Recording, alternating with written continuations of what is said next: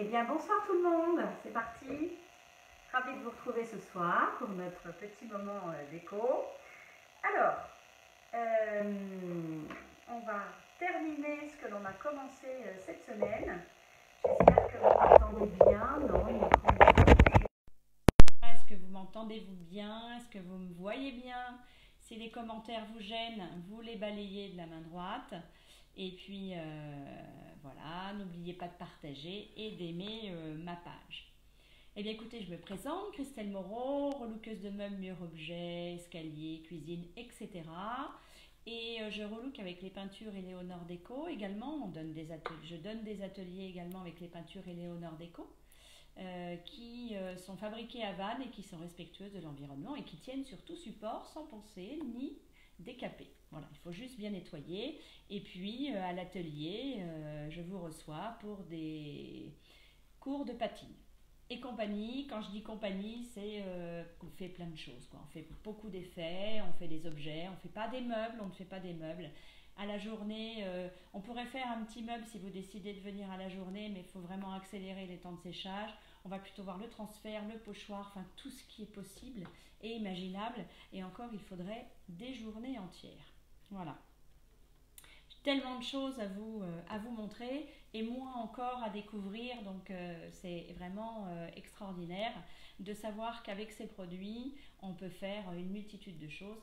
Et encore, je veux dire, on invente des effets, on invente des couleurs, puisque les couleurs, il y en a énormément, mais comme elles sont miscibles entre elles, voilà, on a, c'est vraiment sans limite.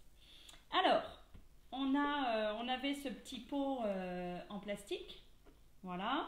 Vous savez, c'est quelque chose vraiment... Euh, bah, en fait, c'est nos pots de 2 litres. Voilà, c'est des pots comme ceci de 2 litres. Et puis, euh, bah, moi, je les prends en pot de peinture. Ça peut être aussi à fleurs. Bon, voilà. Donc, je l'avais sous-couché euh, hier. Je lui ai mis deux passes de fenouil. Et ce que l'on va faire, j'ai prévu finalement de changer de, transfert. J'ai envie de me faire plaisir avec du Chanel. Voilà, parce que je l'avais trouvé super joli. Et puis, on va faire euh, ce petit pochoir marché aux fleurs dessus. Et ensuite, on viendra mettre une patine, euh, je pense, noire. Alors, on va commencer par le transfert. Et puis, de l'autre côté, euh, sur l'inverse, eh ben, je ferai, on fera le pochoir. Alors, le transfert, qu'est-ce que c'est? Donc, c'est une image que l'on a je la copie dans une banque d'images qui s'appelle Pinterest. Je vais la chercher. Ensuite, je la colle, je la copie-colle sur Word. Je fais surtout, alors là, bon, pas nécessairement sur toutes les images, mais quand il y a des écritures surtout, vous les mettez en effet miroir. On est bien d'accord? Pour que quand vous colliez, vous puissiez l'avoir à l'endroit. Voilà. Donc en fait, c'est juste, vous double-cliquez sur l'image, vous faites rotation horizontale et du coup, vous vous retrouvez avec euh, le dessin à l'envers, mais qui sera l'endroit quand vous allez le coller. Alors, on a ce petit produit qui va bien, qui s'appelle l'héléotransfert. L'héléotransfert, eh bien écoutez, ça va euh, capturer votre encre. Et puis, surtout quand vous faites une, une impression, il faut qu'elle soit vraiment très optimale pour qu'il y ait le plus d'encre nette possible. Donc, je viens mettre de l'héléotransfert sur mon, sur mon papier, pourquoi pas sur mon support, et puis mes pas en surplus. Et ensuite, je vais venir coller. Et ce qui va se passer, c'est que l'encre va donc euh, s'incorporer au support, elle va adhérer au support avec euh, mon éléotransfert. Et je vais devoir enlever toutes ces pellicules de papier bien évidemment pour pas que ça fasse blanc, sinon j'aurai juste à coller et puis laisser l'image telle qu'elle puisque je ne veux récupérer que l'encre. Donc voilà, alors c'est ce qu'on va faire. Alors, je l'ai prédécoupé déjà un petit peu, voilà, pour savoir que je dois vraiment euh, avoir ce trait sur la ligne. Donc, je prends mon héliotransfert et je viens en mettre sur mon papier. Une fois que c'est mis, alors c'est pas de surplus, hein, vraiment, je, veux vraiment que ce soit sur les écritures, le dessin. Bon, là, je fais mon carré pour le coup, comme ça. Euh, je sais qu'il y en a partout. Surtout ne pas oublier d'en mettre partout. On n'attend pas deux heures parce qu'effectivement le papier se dé est détrempé. Hein. Donc euh, on vient coller droit si possible. Voilà. Et là, on vient maroufler. Maroufler, c'est-à-dire que je viens euh, gentiment, parce que je vous ai dit que le papier était détrempé, je viens gentiment chasser les bulles d'air et puis euh, étaler mon éléotransfert pour ne pas qu'il y ait de paquets. Hein. Et de bulles et de paquets, ça ne sert à rien. Le surplus va s'échapper sur les côtés et puis on va le laisser sécher. Ce que l'on va faire, parce que je trouve ça beaucoup plus facile, c'est que finalement, bon il est en train de se détremper, je vais mouiller un petit peu le bout de mon doigt et hop, j'ai la première pellicule. Voilà, parce que je trouve que c'est plus facile à enlever. Sinon, il faudrait attendre demain matin. Et effectivement, quand on attend euh, le lendemain, eh bien, écoutez, tout s'en va euh, tout seul. Donc vous voyez, j'ai ma petite pellicule de papier, la première qui est la plus importante, la plus épaisse, qui a certainement dû subir un traitement et du coup après c'est plus facile. Donc je sais que pour le transfert, j'ai eu des petits messages, j'ai raté. Bon, il faut savoir que mon premier transfert qui date de maintenant euh, euh, plusieurs années n'a pas été forcément réussi du premier coup. Bon, avant, je faisais ça au vernis fixe. Ça se passait très bien. Maintenant, il y a les, au transfert. Ça se passe euh, euh, d'autant mieux.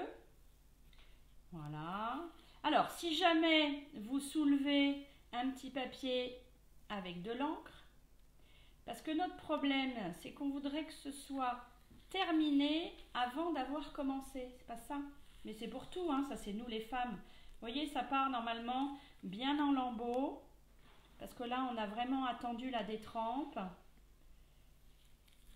Il faut vraiment pas euh, boulocher à fond parce que vous allez... Euh, ben, ça va venir. Bon, si jamais, parce que là, j'ai un petit peu soulevé j'ai vu qu'il y avait de l'encre, mais vous le remettez. Et si vous vous apercevez... Voilà, c'est bon. Si vous vous apercevez que vous avez soulevé et euh, finalement qu'il manquait, que ça n'a pas adhéré, mais vous remettez un petit peu d'éléotransfert et hop, vous recollez comme un pansement. Et on s'arrête là, on a, on a envie de voir que c'est joli et, que, et on a envie d'aller plus loin, mais non, on s'arrête là. Si vraiment vous voulez accélérer parce que euh, vous n'en pouvez plus d'attente parce que quand on est à l'atelier, euh, effectivement, euh, on joue du séchoir. Voilà, c'est pas forcément bien, mais là je suis contente. J'ai ma première pellicule qui est partie, je suis droite. Euh, on voit un petit peu par transparence, mais pour l'instant, on va laisser sécher. Donc, je vais laisser sécher, ça fait du blanc comme ça. Une fois que c'est sec, je vais venir mouiller avec euh, soit un tampon pro, soit un derrière euh, d'éponge. Et, et, ensuite, je vais emmener au fur et à mesure le papier. Mais quand vous laissez une bonne nuit de séchage, le lendemain, ça s'enlève tout seul. Voilà, tout simplement. Donc du coup, je me retrouve avec cette grosse pellicule de papier. Euh, qui est déjà enlevé. Donc après, c'est tout simple. Voilà, on va la laisser sécher. Et ce qu'on va faire, euh, alors, j'ai pas mis, j'avais pas mis trop trop de colle, mais si vous avez du surplus de colle, bien évidemment que vous l'enlevez hein, sur les côtés. Par précaution, ça ne sert à rien d'avoir euh, des bourrelets qui vont se former sur le côté. Voilà, on va être patiente, on va attendre, comme ça on verra le, on verra le résultat demain. Alors, je vais essayer de ne pas l'abîmer. Et puis, on va faire le pochoir. Alors, le pochoir, je vais le mettre carrément à l'opposé. Ce petit pochoir marché aux fleurs, vous savez, on, peut le, a pu le gagner euh, euh, pour un certain montant de commande. Je pense que c'était 120 euros. Alors, ce qui est sympa avec le pochoir, et puis là notamment, j'ai pas assez de hauteur pour faire tout le pochoir. Ben, je vais prendre ce dont j'ai envie, tout simplement pour que cette petite voiture, elle soit entière. Voilà. Alors, comme c'est toujours une forme, ce qui est rond, c'est toujours un peu délicat. Euh, comme euh, on pourrait faire un, abat-jour. Euh, quand on fait un abat-jour, quand on fait un pochoir sur l'abat-jour ou un transfert sur l'abat-jour ou que l'on peint un abat-jour, c'est vrai que c'est toujours un petit peu, un petit peu délicat. Parce que ce qui est bien dans le pochoir, c'est quand il est bien droit et qu'il est bien mis. Alors là, et quand on tourne un petit peu autour d'un objet un peu arrondi, pas, euh, ce n'est pas facile. D'autant qu'il va falloir que je vous montre ce que je fais. Je vais essayer? Voilà. Alors, j'ai choisi plusieurs couleurs. Bon, je vais essayer de me débrouiller. Ce qui se passe, c'est qu'effectivement, les, euh, les rebords euh, se, soulèvent. Donc, moi, quand je vais venir me refaire mon pochoir, ben, je vais bien le tenir comme ceci. Ah oui, en plus, je ne vais pas le pouvoir le poser. Donc, j'ai pris, attention, j'ai pris une couleur qui pète, qui est extra. C'est le rouge antique. Elle fait partie des, des couleurs qui, qui sont assez récentes. Et le rouge antique, je vais faire mes petites fleurs avec. Voilà. Alors, ce que je fais, c'est que, évidemment, alors j'ai une brosse qui est très sèche, ce qui n'est pas le cas parce que je viens de la laver, mais surtout, euh, je les sors, enfin, je la sèche vraiment.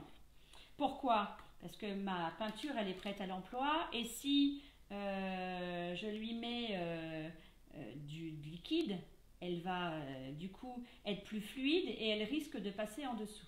Voilà. Théo est là, hein, il peut répondre à vos questions hein, en fait. Donc, je vais essayer de vous montrer le rouge. J'ai pris, j'ai enlevé un petit peu et puis là du coup je vais faire mes petites fleurs. Alors tant que je tapote, vous n'allez pas voir grand chose. C'est quand on enlève en fait que l'on s'aperçoit du résultat et qu'on se dit là quand même on a assez fort au niveau des seins. Donc voilà, en rouge, je ne vais pas faire grand chose, ou alors, je vais peut-être faire les... Non, je sais plus comment ça s'appelle, ça. Voilà. Je risque d'avoir... Euh, parce qu'il est quand même assez fin, un petit peu de couleur qui aille sur une autre. Mais c'est pas grave. Et puis des fois, ça fait des dégradés. On peut faire des dégradés. Hein. Alors, ça, c'est pour le rouge antique. Alors, ce qui est bien quand on fait euh, des petites choses comme ça, c'est d'avoir, c'est plus pratique, c'est si on veut le faire en continu, c'est euh, bien évidemment d'avoir plusieurs brosses et, à plusieurs tailles. Alors, hop, je vais faire les roues. Bon, c'est pas drôle, hein, parce que du coup, vous me voyez euh, tapoter et vous ne voyez pas grand-chose.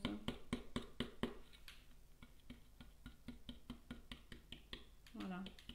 N'hésitez pas à poser vos questions en même temps. Je peux épeindre et parler.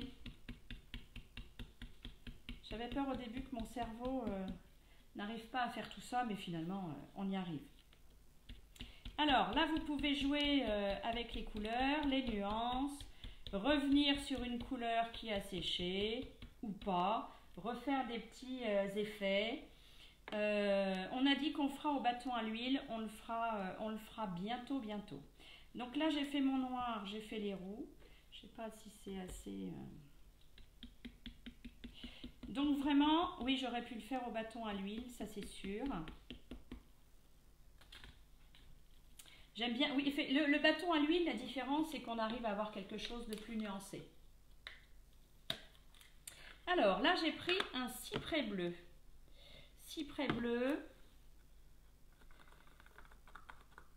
bleu pour moi, alors ça dépend comment on voit les couleurs, hein.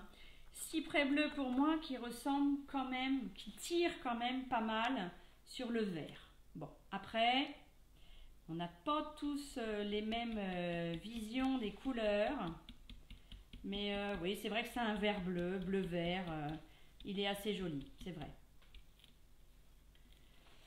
De toute façon, quand j'ai des, des, clientes qui me disent Mais euh, j'aimerais bien penser une couleur là, elle est jolie, hein Ben oui.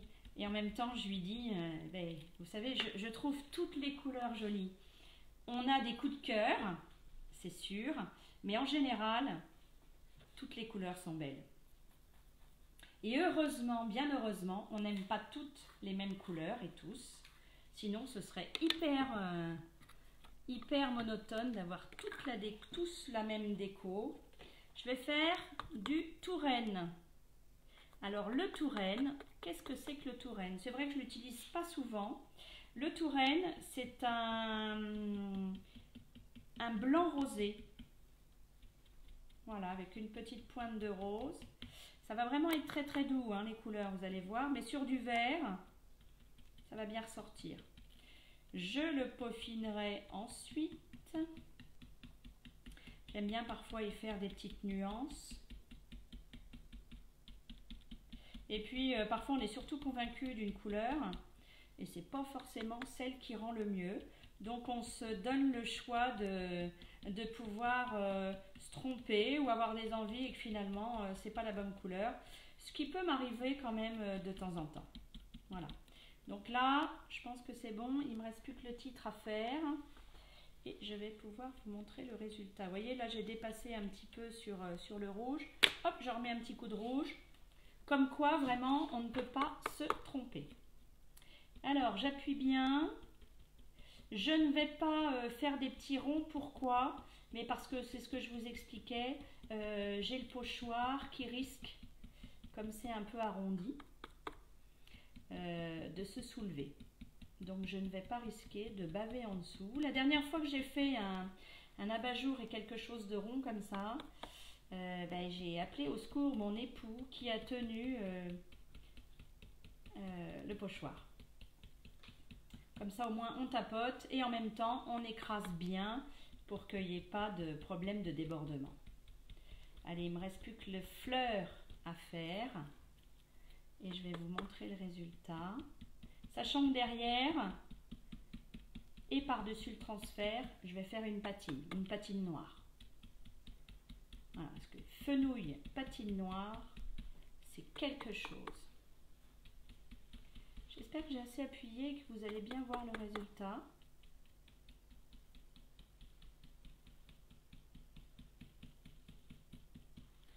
Voilà. Bon, si jamais j'avais oublié les petites choses, hein, en général, j'attends un peu que ça sèche. C'est là où on voit quand ça sèche s'il y a des manques ou pas. Allez, on fait tadanam.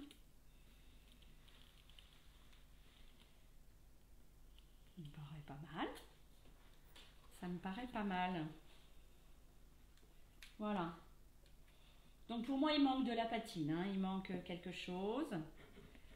Je sais pas si vous voyez bien. Hein, on va attendre que ça sèche. Comme ça, je verrai s'il y a des manques. Et puis, euh, ensuite, on mettra une petite patine.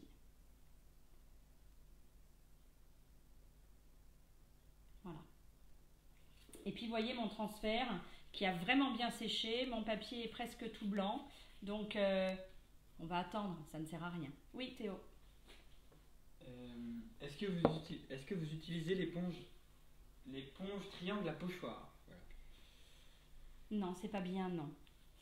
Non, c'est pas bien. Les petits triangles mousse, non, je ne prends pas parce que d'abord, euh, pourquoi? Parce que la satinelle, quand on fait un pochoir à la satinelle, elle sèche très vite. Et du coup, la mousse sèche très vite également. Et euh, il faudrait tout de suite, pendant qu'on travaille, tout de suite après, c'est pas la laisser sécher à l'air, c'est aller la rincer. Surtout euh, parce qu'une fois que la peinture a séché avec la mousse, pour bien la nettoyer, il faut, bon certes, on a des bons produits pour nettoyer, mais euh, voilà, je ne la nettoie pas tout de suite et du coup ça sèche. Alors que mes, euh, petites brosses, eh ben, euh, je les mets euh, au net et après j'arrive à en faire quelque chose. Mais voilà, non, je ne fais pas la mousse. Oui. Après la mousse, c'est vraiment, oui, c'est parce qu'on prend un petit peu et on dépose. Et peut-être qu'il y en a qui se sentent un peu plus à l'aise avec ça. on se sent à l'aise avec effectivement, il faut se sentir à l'aise avec ces produits. Mais là, j'avoue que on arrive avec la brosse en prenant et en estompant, en enlevant le trop, euh, le trop mis sur un petit chiffon. Voilà, on arrive à avoir quelque chose de délicat. Oui? Pouvez-vous redire les couleurs pour pochoir? Oui. Alors, mais de toute façon, je vais vous mettre les pastilles après. Donc là, j'ai pris euh, le rouge antique, antique rouge, pardon. C'est un, rouge orangé je dirais, avec peut-être euh, un petit peu de noir. Pourrait faire penser à, un petit peu de, rouille quand même. Euh, le cyprès bleu, un bleu vert. Et puis j'ai pris le noir et le touraine. Mais je vous mettrai les pastilles sur la publi une fois que ce sera terminé. Voilà. Et puis surtout le fenouil en, fond. Donc voilà, on va prendre la petite caisse maintenant. Vous voyez, je les mets là. Et puis tout de suite après, je vais les, je vais les laver. Et si jamais ils avaient séché, eh écoutez, je prends mon petit pinceau. Alors, ma petite caisse à vin. Vous vous souvenez Bon là j'ai fait euh, un petit pochoir à l'intérieur, j'ai fait du bleu, euh, de l'Odyssée, et puis euh, et voilà. Alors, j'ai mis un jus, mais je suis allée trop vite. Je pensais vous avoir laissé un côté, et en fait je ne vous ai pas laissé de côté. Donc qu'est-ce que j'ai fait? Bon, c'est pas grave, on va en refaire un ensemble. Un jus, on est bien d'accord. vous savez maintenant, c'est, je dis 50 de sentinelle, 50 d'eau. Euh, j'avoue que je ne dose jamais. Ce que je fais, c'est que je prends ma peinture et euh, je la trempe. J'ai toujours un petit peu d'eau et voilà, je mélange. C'est vous qui voyez en fait la dose. Hein.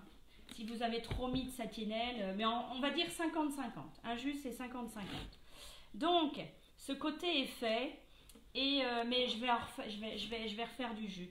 Ce côté est fait, je ne sais pas si Théo en voit bien, mais euh, ce, caramel, euh, le vertigo, l'odyssée, on voit bien moins, bien évidemment, parce que c'est très foncé. Mais euh, ce rouge caméléon avec une patine Vengue, écoutez, c'est splendide. J'en laisse toujours un petit peu sur les côtés pour voir cet effet un peu vieilli. J'espère que vous verrez bien. On fera des belles photos demain matin et où je vais essayer tout à l'heure mais euh, vraiment il n'y a pas de soleil. Et euh, vraiment ça fait un effet euh, certes très acidulé hein, par rapport aux couleurs, mais la patine elle vient vraiment vieillir le tout et je trouve que c'est un beau compromis. Enfin, pour moi, c'est un bon compromis. Donc, j'ai mon pinceau avec le, jus. Et ce que je fais, il n'en faut pas beaucoup. Hein. Ça sert à rien de, ne plus avoir envie de voir ce qu'il y a en dessous. Et puis, euh, je viens lisser. Alors, soit je lisse avec mon petit euh, chiffon, soit aussi je peux très bien lisser avec mon derrière verre d'éponge. Voilà, quand j'en ai trop mis. Euh, voilà, comme ceci. Et puis ça, donc ce que je vais, comme s'il y a de la satinelle à l'intérieur, ça va sécher. Et puis vraiment agripper aux, couleurs qui sont, aux couleurs qui sont déjà euh, là. Et euh, avec ma petite laine d'acier, hop, et ça on va le faire ensemble. Je vais prendre le plus foncé pour que vous voyez. Là, vous voyez, je l'ai... Euh, non, hop, on va mettre ça parce que pour moi, ça m'évitera de, m'en mettre un petit peu partout. Il n'est pas fait celui-là. Hein. Voilà. Vous voyez, donc c'est bien taché. On voit bien c'est sec. Et puis avec ma laine d'acier. Ah, j'ai eu des vols. Ah non. Voilà. Donc je prends ma laine d'acier. Donc là c'est bien sec. Hein. Je l'ai fait cet après-midi. Je prends ma laine d'acier que je mouille. Enfin, d'abord j'essaie. Mais comme de toute façon, j'aime pas travailler la laine d'acier euh, qui n'est pas mouillée. Pourquoi? Parce que bah, c'est de l'acier. Hein et euh, j'ai pas envie de la respirer. Donc, hop, je la mouille, je les sors bien. J'espère que je ne vais pas m'en mettre partout. Et puis là, je viens. Alors, je ne suis pas à fond, hein, je n'appuie pas. Euh, toujours en délicatesse. Et tout de suite, je ne fais pas toute ma boîte. Je, je viens tout de suite essuyer pour voir où j'en suis. Je préfère dans un premier temps ne pas en enlever beaucoup euh, pour voir ce que ça donne. Donc le vertigo. Le prochain meuble que je dois faire est vertigo pour le bureau, les pieds du bureau et le dessus, ma foi, on verra. Donc vous voyez, on arrive à ravoir l'éclat de la peinture, de la couleur, mais on a quand même ce petit côté euh, un peu passé, un peu vieilli. Voilà. Bon, c'est tout ce que j'aime en fait. Et puis là, on va venir remettre un petit peu de couleur, un peu d'éclat quand même, avec le blanc. Hop, je trempe ma laine d'acier, j'essore et je viens. Donc là, euh, je ne vois pas trop ce que je fais. J'en laisse toujours un petit peu sur les côtés parce que je trouve ça plus joli. Voilà. Et puis alors vous allez voir le rouge, c'est là où ça va être aussi euh, euh, très marquant. Toujours tout doucement, hein, tranquillement. Voilà. J'espère qu'on voit bien la vidéo, qu'on retrouve l'éclat. Alors, vous allez me dire pourquoi euh, sur l'Odyssée? Ben Parce que déjà, on, fait une harmonie sur toutes les couleurs. Et puis, euh, puis c'est comme ça, voilà, j'en mets partout. Et voilà les petites fleurs. Donc ça, c'est le pochoir graphique. Ça permet de faire euh, pas mal de petites créas. Voilà, je ne sais pas si on voit vraiment cet effet. En plus, vous avez la lumière, mais... Et donc, ben maintenant je vais pouvoir vitrifier. Voilà, ce qui va redonner encore plus d'éclat à la peinture. Et puis euh, je vais venir mettre, mais j'ai pas trouvé de vis assez, euh, assez courte, je vais venir mettre mes petites roulettes en dessous comme ça. Et puis euh, je, vais vous, je, vais vous, je vais vous mettre une petite photo. Voilà, voilà. Qu'est-ce que je voulais vous dire? Oui, donc c'est ce pochoir là c'est ce pochoir-là. Alors c'est vrai que c'est petit, mais euh, voilà, hier soir j'ai commencé par l'intérieur de mes fleurs. Après j'ai pris vraiment l'extérieur. Euh, et je vous dis, quand euh, même si vous enlevez au final et vous dites mince, l'orange est passé sur le, sur le rouge, c'est pas grave avec un petit coton-tige ou une fois que c'est sec, vous y revenez. Hein, donc voilà, c'est on s'éclate. On prend son temps, je sais qu'on a toujours voulu, on veut toujours que ce soit terminé avant d'avoir commencé, mais euh, là on se dit, ouais c'est un travail un peu, c'est un peu long, mais euh, des boîtes comme ça, vous, n'en aurez qu'une, vous n'en trouverez qu'une, c'est la vôtre, c'est votre, euh, c'est votre esprit, c'est déco, c'est vos couleurs, enfin voilà, c'est vous qui l'avez pensé. Et puis le bayadère, vous avez vu, et je vous mens pas, hein, mes scotch sont toujours là. Je vais m'en servir jusqu'à ce qu'il euh, ne, colle plus.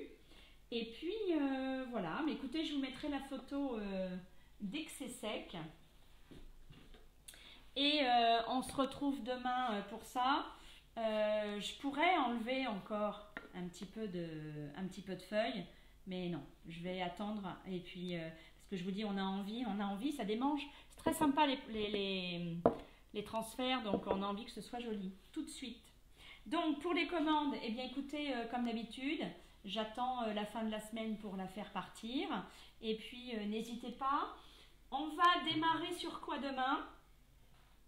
J'ai retrouvé dans mon garage cette belle chaise. Cette vieille belle chaise.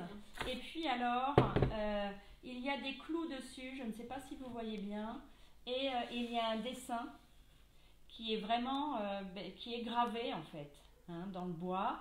Donc, euh, ben, je vais m'en servir. Je vais m'en servir. Donc, je vais essayer qui est assez ancien euh, au niveau du dessin, enfin, qui fait quelque chose d'ancien. Et euh, je vais essayer de faire quelque chose d'assez moderne quand même. Donc, on va mêler, on va mêler tout ça. Je vais déjà la bien, bien, bien la laver. Et ça, je vous montrerai demain parce que vraiment, je pense qu'elle a été usée par le temps. Voilà écoutez, je vous embrasse. N'hésitez pas à liker. Je vais mettre sur YouTube. Et puis euh, de partager. Voilà. Et puis pour les cours, j'attends toujours euh, vos dates. Euh, si vous voulez ne pas être dans mon créneau date que j'ai mis et horaire. Si vous avez les vôtres qui vous arrangent mieux, on va trouver un compromis. Je vous embrasse, je vous dis bonne soirée. Je vous remercie de me regarder tous les soirs et d'être fidèle. Et euh, si vous avez euh, des envies particulières par rapport à des pochoirs, des couleurs, des objets, bon, j'avoue que euh, j'ai pas le temps de faire les magasins et que je vais dans mon grenier et que je prends au fur et à mesure. Donc c'est ce qui tombe sous la main. Voilà. Mais voilà, n'hésitez pas. Je vous souhaite une bonne soirée. À demain. Au revoir.